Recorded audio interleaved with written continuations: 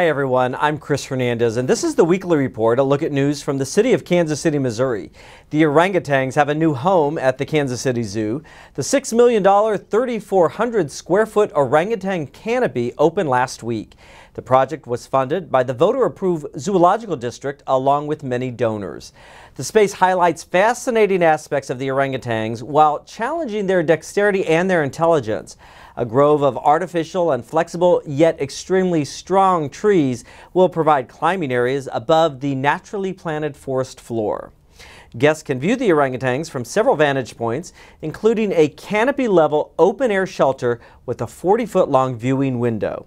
Or you can watch them anytime by just going online to check out the two new webcams. Go to kansascityzoo.com.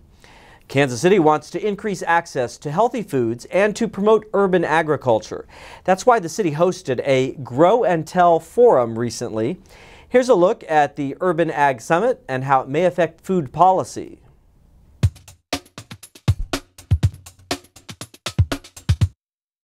We've got about a quarter of a million people in Kansas City that fall in this food insecure designation, which means they live paycheck to paycheck, most of which are on food stamps. And by the third week, those food stamps run out. And so they oftentimes go with or without food at the, toward the end of the month. And that's exasperated by the fact that many of them, one in five families, have children. And it, studies clearly indicate that children under the age of three that go without food don't develop mentally or physically to their fullest extent. We love creating community gardens with our orchards, and one of the reasons we particularly like doing that is because uh, a vegetable bed is something that produces the year you put it in the ground. Uh, our fruit trees are going to take four or five years for them to really get to maturity where they're producing fruit. So in the meantime, we can work with the neighborhood to get vegetables growing and get them in their kitchens and teaching them how to prepare fresh vegetables from the garden. Agriculture is incredibly important in Missouri and um, being able to understand uh, how you grow, produce, how you process and eat food. Imagine the nutritional value um, that we can, we can harness uh, if we are able to understand how food is produced and thus how it can be how it can taste when it's at its peak ripeness or what we can do with it um, as we're um, preparing it. Urban agriculture offers opportunities to develop to develop our community um, in being putting land in um, and repurposing it into agriculture food has also always been part of our geographic, our landscape, our urban landscapes. Uh, cities used to have home gardens, community gardens. There were uh, stores that sold locally grown food. And so they were part of the network of businesses and people that made a community lively and interesting. And what's happened is, is that people have been disconnected, become disconnected from this really important, essential thing for human life and human community. And so urban agriculture is a movement to bring it back into the city, to, uh, to help people grow, to help people um, sell, to help keep the, their food dollars circulating locally. I think that uh, we're at a tipping point in agriculture where people are starting to understand the need to be a, to have a realist, realistic understanding of where their food comes from. And we don't need food shipped a thousand miles to our plate. What we need to be doing is supporting our local communities and getting the food from our neighbors into our communities so that we can have healthy alternatives from the people within our city.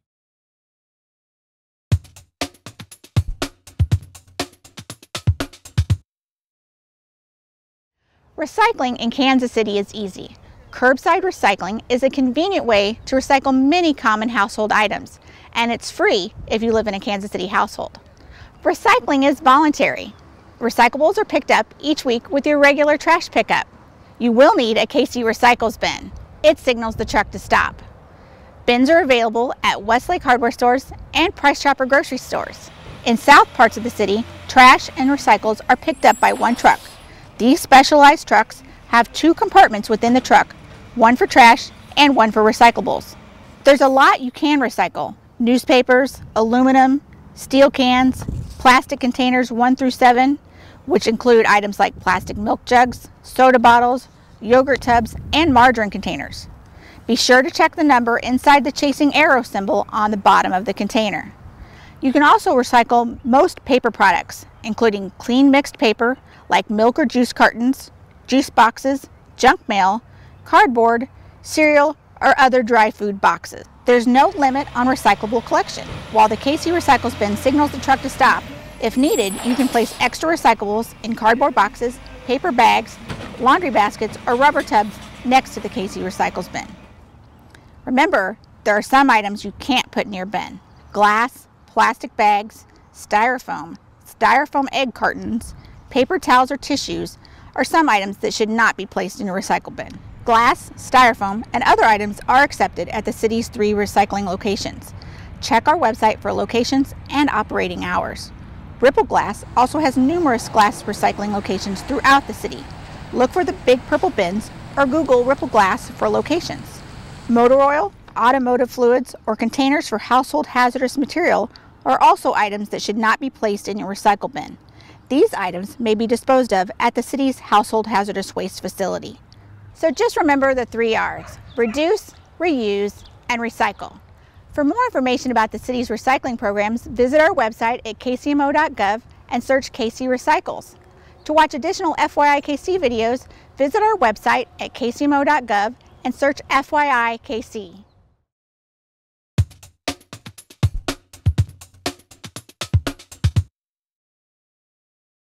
Well, here we are at uh, Brush Creek, here at the opening of another one of our murals as part of the Map It program, the Mural Arts uh, Initiating Transformation. Uh, this mural is uh, Coming Home to Brush Creek, done by Robin Case. Uh, we are excited to open up this latest uh, mural for our Map It program, and this is really one of what we hope will end up being hundreds of murals across the city. Uh, the reason why the Map It program is so important is because it's providing an opportunity to do two things. One is to beautify our city, and the other is to help our youth. It beautifies because it takes walls where there may be no programming, or it may be a wall that is prone to graffiti and tagging, and really doing something beautiful with it. We know that when you have a wonderful mural, many times people will step away from that because of the artistry involved and they don't want to ruin that, and that's certainly the case with this mural here. Can you talk a little bit about the image of the lady there? Um, she was there because I wanted some kind of like, I, don't I wanted a personal element to this. So I needed somebody to see, you know, their face or someone's face that they kind of knew. I mean, I felt it was a little impersonal if it was just this cloudy sky and a handshake. And so she kind of is there you know, represent either, you know, old lady Wither Winter or like somebody could just kind of like say, oh, that kind of reminds me of somebody I know. And it's just, hmm. she isn't someone in particular, it's just a face to give a face to the mural. okay. And, but thanks, it's really nice to hear the inside. You know, that's the thing I know with public art is that there's hmm. always a lot of story behind the, the Right. end product and rarely do we get a chance to hear, you know, what the thinking was and all the experiences. Yeah. Well, thank you, Councilman Wagner, for inspiring the city to take on mural projects. And you know, I'm very fortunate to be at Mattie Rhodes Center where when you think of uh, creativity, when you think of nurturing artists, you look to the Mattie Rhodes Art Center. And I know Phil has exhibited at the community art gallery that we have on the west side. So, you know, for us, uh, I really want to acknowledge the work of Alicia Gambino and JT. Uh, both of them have put countless hours into uh, going out and visiting the sites, measuring the sites, pricing it all out, and managing the dollars and working with the park staff. So I want to commend, uh, obviously, my second family, the park department, of the cooperation to make all of this happen. So for us, this just speaks to who Mattie Rhodes Center is. It's about uh, service to our community, and if there's a way to bring attention to artists like Phil and others, and to have people celebrate the rich culture and diversity that we have in Kansas City, then we're there. So on, on behalf of Mattie Rhodes Center, uh, I appreciate uh, being a partner, and I would like uh, Alicia just to say a few comments, but again, I just wanted to commend our two uh, wonderful staff. Uh, Thank you, John, and I want to thank you, Phil, for being um, so great to come on to this project. Um, I appreciate all the artists um, that uh, worked with us, um, either the murals that are already completed or as we're moving into the future, into the summer, uh, because this is a new initiative. I do realize, having been a community muralist, that hey, wasn't all that, but we're, you know, we're moving forward. This, this was to start, this is just a little start for us to open to more artists, calls for artists, other sites. And I want to really thank our uh, youth development uh, coordinator, JT. Um, he did a lot of work on this, hopping between sites, working with artists, and um, and he just did a really, really great job. I'm very proud of him. And um, can't wait until we are able to unveil the other ones. By the end of the summer, we should have uh, six in total. And so uh, we hope to see uh, walls like these uh, all over our city very soon. But the second thing that we are very excited about is the opportunity for our youth. Uh, we talk many times about building the skills for the future and the skills for our kids. Well, the reality is that it's not just the technology arts, but it's the arts where we need to develop those skills as well. Murals take a lot of different skills, very, very specific skills, and so the opportunity to match up established artists with youth is what MAP-IT is all about.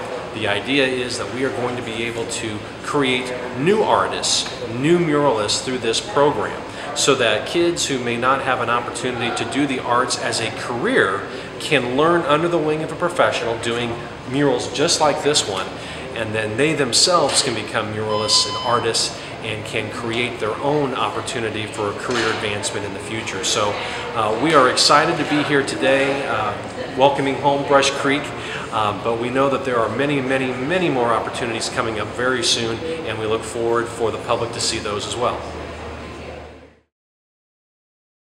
See what's new at the KC Zoo. A great adventure waits for you. Penguins, polar bears, kangaroos. See it all at the KC Zoo.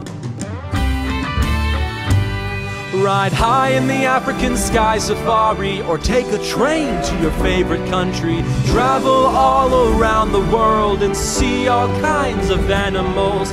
It's always a new adventure at the Kansas City Zoo. Please join us for an opening night reception for The Art of Data at Arts KC 106 Southwest Boulevard. It's Friday, June 5th from 6 to 8 in the evening. The exhibit runs through June 26th at the Arts KC Gallery Space. My name is Don Wilkeson. I'm an artist. I work under the pseudonym MOI, which stands for the Minister of Information. So the, they sent out this list of, of different kinds of charts that, that they wanted people to respond to. And there were several of them that spoke to me. Like what would the, what would the person in the audience, when they're given this presentation about you know how the city's doing, what would, what would the average person, how would they really like to see this chart? We all know city leaders use data to determine how to spend tax dollars and how to solve problems. We think our charts are artistic, so the city issued a call for artists to reinterpret some of the charts and graphs used in actual meetings here at City Hall. This exhibit is the first community project of the newly formed Office of Culture and Creative Services. It also celebrates the five-year anniversary of the Office of Performance Management, which produces, analyzes, and reports out that data. We hope the exhibit also sparks awareness of city services. This exhibit will showcase 10 local artists and creative teams, so join us on June 5th. Cycle in the City was a big success. Thousands of residents turned out to cycle, walk, and enjoy Ward Parkway for an open street festival between 63rd Street and Gregory Boulevard for three hours on a Saturday afternoon on May 16th. The event included demonstrations like stunt riders, children's bike safety learning areas, and other kinds of outdoor fun. One resident told us afterwards in an email, quote, it was 100% awesome. They also added that their kids still want to ride their scooters around the fountain. To view this program again or other Channel 2 videos, visit our YouTube channel at youtube.com slash kcmocco. That does it for this edition of the Weekly Report. I'm Chris Hernandez. Have a great week.